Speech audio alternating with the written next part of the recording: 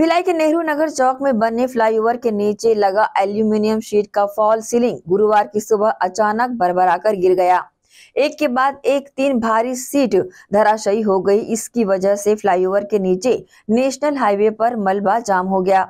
बताया जा रहा है कि ट्रक की ठोकर से फ्लाईओवर के नीचे लगा एल्यूमिनियम शीट गिर गया।